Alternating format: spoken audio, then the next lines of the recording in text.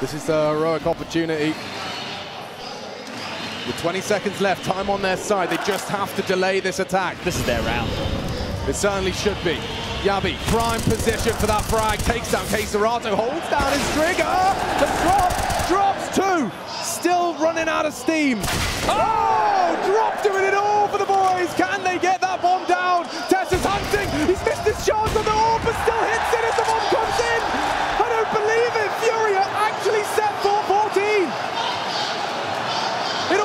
so fast.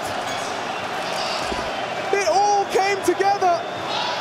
When you run into a stack, four CTs on the site, and you just knock them down one after the other. I said that was heroic round. Drop, let me see this again. Stunning from the young gun. He gets two and you think it's still problematic. And then this shot, what a gamer. Baby sat by safe, needed that frag to get the bomb in.